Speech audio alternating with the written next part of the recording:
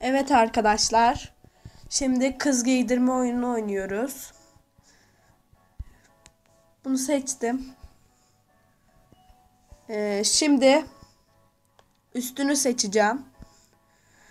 Bana uzun bir şey olsun. Fazla açık. Ee, bu olabilir aslında. Tamam bu olsun.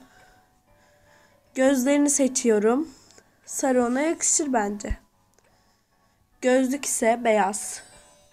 Çok süper oldu. Saç ise uzun istiyorum. Evet. Ee, dudak bu olsun. Süper. Kolye elbisesine uygun olarak bu bunu seçtim. Ayakkabı ise elbisesine uygun olarak bunu seçtim. Arkadaşlar Barbie'm nasıl? Çok güzel oldu değil mi?